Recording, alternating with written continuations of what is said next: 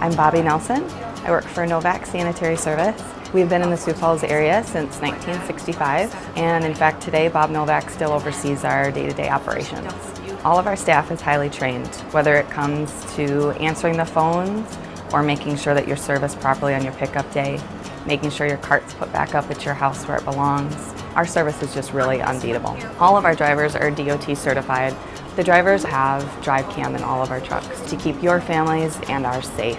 Novak Sanitary Service also operates Dakota Data Shred. All of our residential customers get up to five boxes of free shredding per year.